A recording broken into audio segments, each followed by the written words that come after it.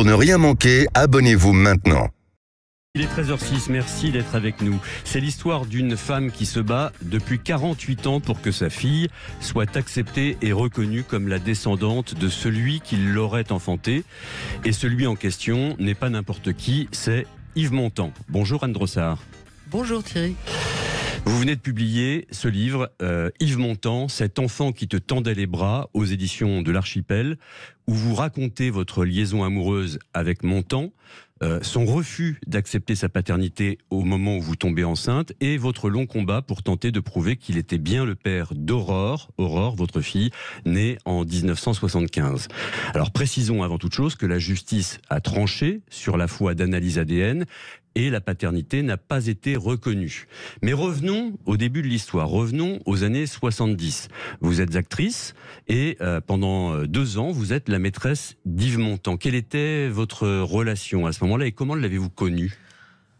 Comment je l'ai connue? D'abord, euh, j'étais présumée jouer le rôle de Marie dans Vincent François Palais les autres, le film de Claude Sautet. Mhm. Et donc, c'était la maîtresse de, mon temps dans le film. Et j'avoue que j'étais très impressionnée par l'acteur, par le personnage. J'avais un peu peur de me retrouver muette face à l'acteur. Je tournais dans le sud de la France. Il était à Saint-Paul-de-Vence. Il tournait Le hasard et la violence. Je me suis dit que c'était l'occasion jamais d'essayer de le voir, de prendre un café avec lui, euh, de discuter un peu. Je suis allée à Saint-Paul-de-Vence. Il y était bien. Euh, je lui ai laissé un mot, lui disant que j'aurais aimé le rencontrer. Et euh, le lendemain matin, à 8 heures, il m'a appelé pour me proposer de prendre le café avec, avec moi. Je lui ai dit, écoutez, euh, vous m'accordez quand même un petit moment parce que je suis pas prête du tout. C'était tôt.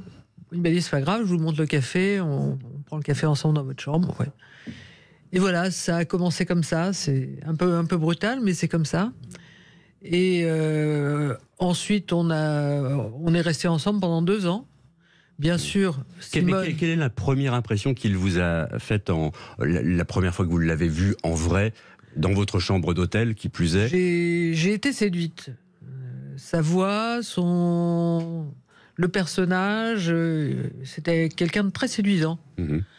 J'avais 20 ans, mais je crois que quel que soit l'âge, c'était un personnage très séduisant. Et euh, j'ai été séduite, effectivement. Et vous restez avec lui pendant deux ans.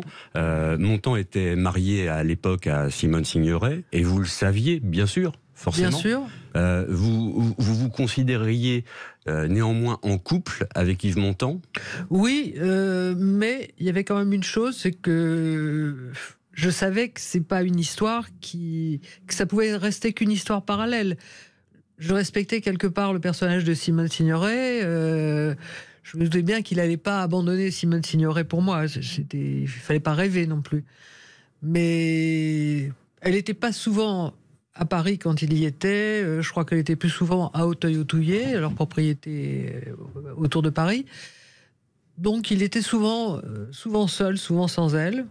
Et vous alliez le retrouver chez lui, place Dauphine, à Paris? Tout à fait.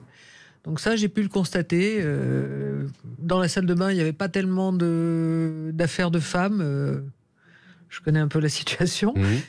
Donc elle n'était pas, elle était pas souvent avec lui. Euh, je crois qu'il y avait un peu de, un peu d'eau dans le gaz, comme on dit, mhm. entre les deux. Et ils n'étaient pas, ils n'étaient pas soudés comme aurait pu l'être un couple. Hmm. Et vous finirez par échanger avec euh, Simone Signoret, on, y reviendra. Mais alors là, nous sommes en 75, vous tombez enceinte, vous êtes sûr que euh, l'enfant est d'Yves Montand, et quelle est sa réaction? Alors d'abord, j'ai attendu vraiment euh, un peu plus que d'être sûr pour lui annoncer, parce que comme il tournait, il tournait le Sauvage à l'époque, il, est, il était revenu de Caracas, etc. Là, j'étais enceinte de six mois. Mhm. Euh, ça remontait à avant qu'il ne parte au, Venezuela et je, savais très bien quand. Bon, euh, j'étais pas sûr pendant un moment. Euh, les résultats, c'était, on savait pas trop. À l'époque, c'était moins précis que maintenant. Mhm. Mais vous étiez sûr que c'était lui, le père Absolument, oui. ça, sans aucun doute. Et donc vous, vous, lui dites, je suis enceinte, il est, Bah, de, je- il est je- de toi. Bah, je, je lui demande, en plus, je lui dis, mais tu, tu vois rien de changer, il n'y a rien qui t'a- qui te- qui, qui t'impressionne. Il me dit, ah, tu as vu changer la couleur de tes cheveux. Alors, C'est pas tout à fait ça, euh, un peu plus bas. Ça se voyait pas beaucoup, c'est vrai. Mais je lui dis, je suis enceinte et je suis enceinte de toi. Il me dit, ça peut pas être de moi. Je lui dis, si, si, si. Là, c'est six mois, c'est. C'était au Concorde Lafayette. Oui, c'est vrai qu'on se voyait place Dauphine, mais de temps en temps À l'hôtel. à l'hôtel Concorde Lafayette. Alors il vous dit, ça peut pas être de moi, mais pourquoi? Pourquoi? Parce que à 54 ans, on peut plus avoir d'enfant. Un homme ne peut plus avoir d'enfant. Alors évidemment, c'est très surprenant comme réponse. Je lui dis que là, il y avait quand même de bons exemples euh, évidents, euh, Chaplin, etc., euh, Picasso, qui n'étaient pas très jeunes, qui étaient plus âgés que lui et qui avaient des enfants. Euh, 54 ans, ça me semblait pas Hmm. l'âge canonique pour ne plus avoir d'enfants. Et la relation s'est brisée euh, à ce moment-là. J'ai essayé de, de- de relancer quand j'ai accouché. J'ai téléphoné, j'ai eu Bob Castella qui répondait au téléphone. Je lui ai dit d'annoncer à mon temps qu'il était papa d'une petite fille qui s'appelait Aurore. Et euh, je n'ai jamais eu de réaction, jamais eu de réponse, euh, aucune réaction. La liaison s'est arrêtée net le jour Net. où vous lui avez dit Net que vous étiez enceinte. Absolument. Et alors, Aurore va naître. euh, vous reverrez mon temps par la suite avec, avec Aurore. Il la, il la connaîtra, il la verra? Oui, tout à fait, parce que toujours sans admettre que qu'il en était le père. voilà, mon, mon idée c'était de, de les mettre en présence le plus souvent possible et le plus tôt possible. Il pourrait dire tiens, mais c'est vrai que cette petite me ressemble et, et elle lui a toujours ressemblé beaucoup, même toute petite. Euh, la voir bouger, la voir euh, vivre euh, face à lui, je trouvais que c'était intéressant. J'avais un, euh, j'avais un casting à Rome et lui tournait le Grand Escogriffe à Rome. Je me suis dit que l'idée, c'était peut-être de descendre à l'hôtel de la ville, où fatalement les, les acteurs descendent, avec Aurore. Aurore avait sept mois à l'époque. Effectivement, il est arrivé à l'hôtel de la ville. Il a fait semblant de ne pas me connaître. euh, je prenais un verre avec un acteur qui, qui connaissait très bien, avec qui il avait tourné. Euh, il a fait semblant de ne pas me connaître. Bon, euh, pourquoi pas. Et puis le lendemain, j'étais au restaurant installé avec Aurore et il est venu s'installer à ma table. Et pendant huit jours, tous les jours, il est venu déjeuner avec moi et Aurore, donc à la même table. Il a eu sa fille en face de lui euh, le temps d'un déjeuner tous les jours. Je me suis dit qu'il y aurait quelque chose qui se passe. On a, on a un peu renoué quelque chose à ce moment-là. Vous avez Parce- remis le couvert, bon voilà. Voilà. Mais bon, l'idée, c'était plus loin, c'était d'aller plus loin avec Oui. Aurore. Et euh, après, quand je suis rentré à Paris, euh, à nouveau, plus de nouvelles.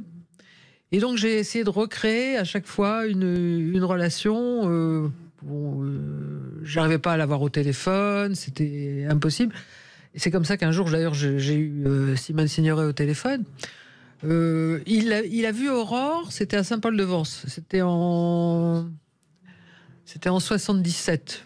Donc Aurore avait euh, deux ans, enfin Mhm. presque deux ans, c'était l'été. J'étais allé déjeuner avec des amis à Saint-Paul, à la Colombe, et je venais d'acheter une voiture un peu sympa, une Porsche. J'avais gagné au casino.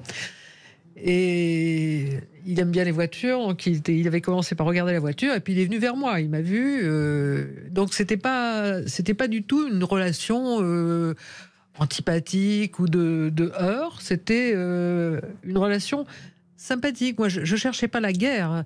Je cherchais juste à rester justement en bon terme avec lui pour que ça soit Aurore qu'il fasse réagir à un moment ou à un autre. C'était pas la guerre que je voulais, c'était qu'il qu'il reconnaisse son enfant. Oui, c'est ça. La, la- la finalité, c'était quand même à un moment de l'amener à reconnaître euh, la paternité d'Aurore. Voilà, mais donc à la voir, à la discrètement, il n'était pas question de, de crier ça sur les toits. C'était pas mon but du tout. Alors, il a vu Aurore, vous vous croisez de temps en temps. Il l'a prise dans les bras. En plus, euh, là, il y a eu un moment, effectivement, euh, j'ai cru que ça partait. Mhm. Et puis bon, il a repris sa, sa tête habituelle, si je puis dire. Et euh, ça s'est pas passé à ce moment-là. Et donc, à plusieurs reprises, je me suis débrouillée pour que Aurore et lui se retrouvent en, en présence Mhm. de façon à, à avoir une réaction. Mhm. Réaction n'est jamais arrivée. Voilà.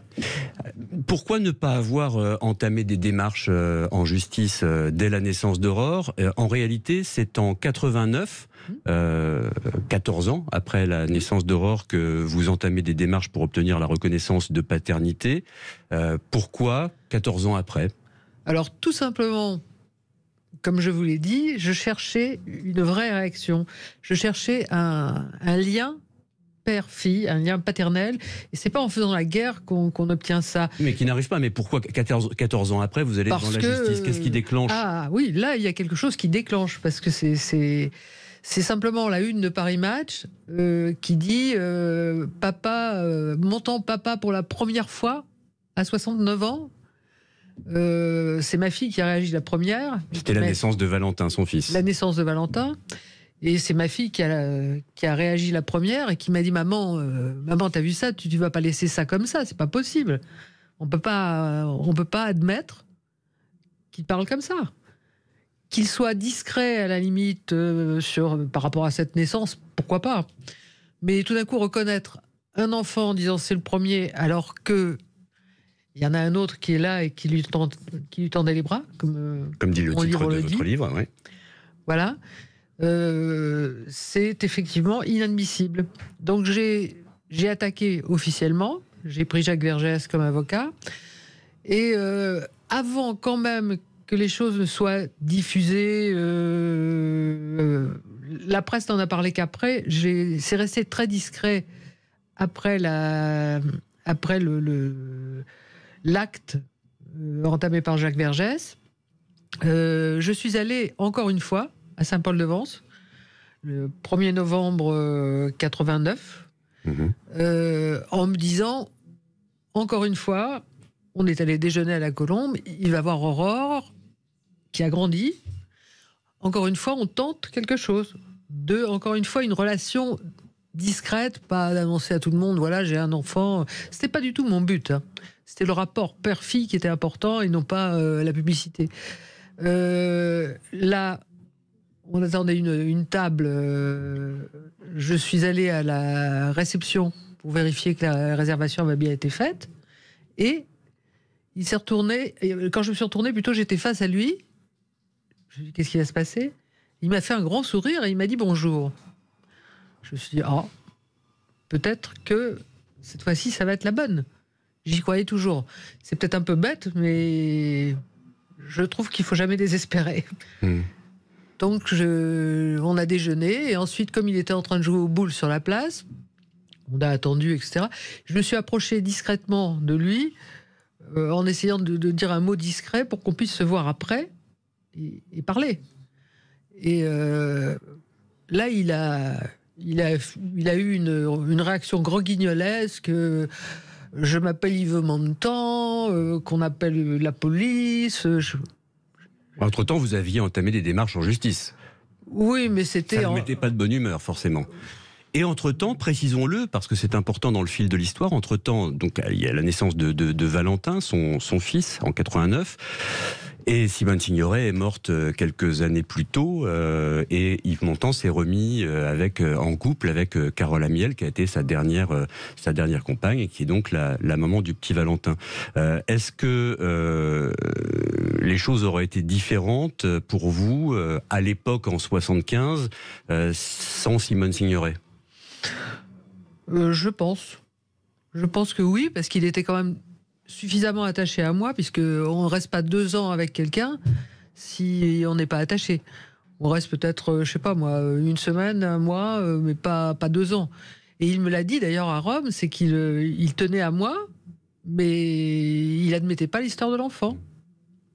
C'est tout. Et ça avait à voir avec euh, la Euh, présence dans sa vie de Avec sa relation, oui, sa que, relation que- avec que vous, que vous aurez donc au téléphone, euh, vous essayez d'appeler euh, Montant euh, euh, à son domicile Place Dauphine à Paris et vous tombez sur Simone Signoret. Que vous êtes-vous dit entre femmes? Bah, au début, elle m'a dit pourquoi, vous, pourquoi vous voulez joindre Montant? Elle était assez agressive. puis on a, on a discuté quand même un peu. On a fini par. je lui ai dit bon, j'ai fini par lui dire quelle était, quelle était la situation. Et on a fini par pleurer toutes les deux à un moment. Mmh. Ça, ça, finit par arriver. Et on a décidé, euh, toutes les deux, de se voir le lendemain. Elle devait venir déjeuner euh, chez moi, à la maison. Euh, j'habitais dans, le 17e. Elle devait venir à 13h. À 13h30, il n'y avait toujours personne. J'ai essayé d'appeler Place Dauphine. Elle m'a raccroché au nez. Une deuxième fois, elle m'a raccroché au nez. Je lui ai dit, c'est pas possible. On a rendez-vous, on raccroche pas au nez de la personne le lendemain. J'ai pris un taxi avec Aurore et je suis allé Place Dauphine. Mmh. Et Bob Cassella m'a ouvert la porte. Euh, elle m'a dit ah, Vous êtes gonflé ben, Je lui ai dit Non, je ne suis pas gonflé. Euh, on avait rendez-vous. Euh, vous ne venez pas, vous me raccrochez au nez. Donc je viens vers vous. Et bon, elle m'a dit Écoutez, on, se voit, on se voit après au caveau du palais et on parle. Bon, d'accord. Et effectivement, on s'est vu au caveau du palais, on a parlé. Elle m'a dit Si J'en ai parlé à mon temps. Mon temps m'a envoyé balader, euh, tout simplement. Et elle m'a dit, vous savez, si j'avais dû adopter tous les enfants de mon temps, euh, j'aurais une famille nombreuse. Mmh. Voilà, c'est sa réflexion. Alors on arrive euh, presque à, l'épilogue de, cette histoire très romanesque et en tout cas l'épilogue euh, judiciaire. Yves Montand meurt en 91, donc deux ans après la naissance euh, de Valentin. vous, votre combat continue. Il y a eu plusieurs recherches ADN, des prises de sang sur Valentin, sur la sœur d'Yves Montand également. Je m'excuse de vous interrompre une seconde, mais il y a eu autre chose. Il y a eu cinq ans quand même de procédure avant sa mort. Enfin, pas avant sa mort, mais avant qu'Aurore ne soit reconnue, parce qu'il y a eu... Euh, Alors, y a, n'a jamais voulu qu'on donner son sang, donner son sang de son vivant, euh, évidemment.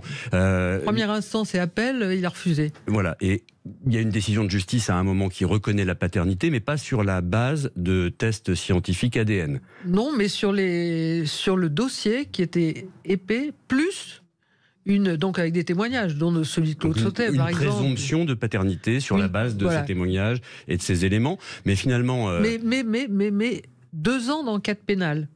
un juge d'instruction, deux ans d'enquête pénale menée par la brigade financière parce qu'elle pensait que c'était des gens très droits, honnêtes, qui n'allaient pas se faire acheter à droite ou à gauche.